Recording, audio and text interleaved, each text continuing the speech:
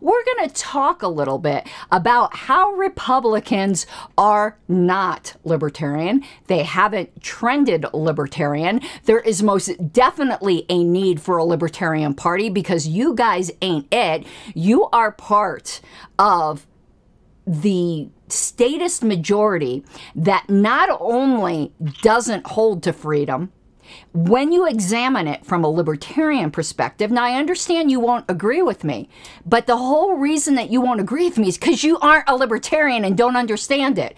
From a libertarian perspective, you guys hate freedom and you want to force everyone else to hate it as much as you do.